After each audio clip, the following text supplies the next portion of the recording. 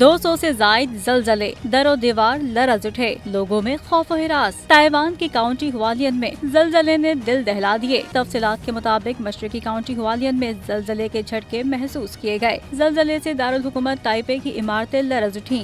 जलजला पैमा मरकज के मुताबिक वक्फे वक्फे से जलजले के 200 से जायद झटके महसूस किए गए। ताइवानी महकमा मौसमियात के मुताबिक जलजले की शिद्दत छह अशारिया तीन रिकॉर्ड की गई, जबकि इसकी गहराई पाँच अशारिया पाँच किलोमीटर रिकॉर्ड की गई है। ताइवानी हुकाम के मुताबिक जलजले से फौरी तौर पर किसी नुकसान की तला मौसू नहीं हुई है।